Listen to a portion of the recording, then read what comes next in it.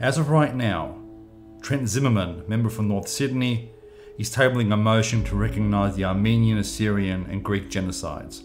If you've been following our Federation's progress, you will know that in early 2020, together with the Australian Hellenic Council of New South Wales, formed the Joint Justice Initiative with our Armenian and Assyrian brothers and sisters. Since then, we have actively been campaigning to get federal members of parliament to support this initiative. After almost two years of solid work, the motion will be tabled and is being tabled right now for the very first time in our nation's history.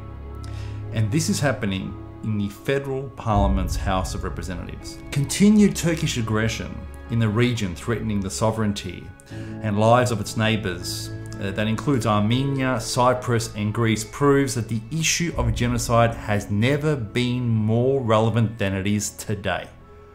The motion will be debated in the lower house uh, or the House of Representatives. Uh, this is where our local members represent our concerns. It is where the Prime Minister of Australia debates uh, issues, and it is in this Parliament for the very first time that this particular issue will be debated.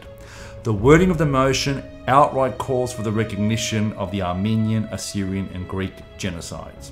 It calls it genocide, and it has a call to action, and that is that the Parliament of this country recognize the aforementioned genocides as genocides. We will be providing updates on, uh, of this as the week progresses. Thanks again, good health, and God bless.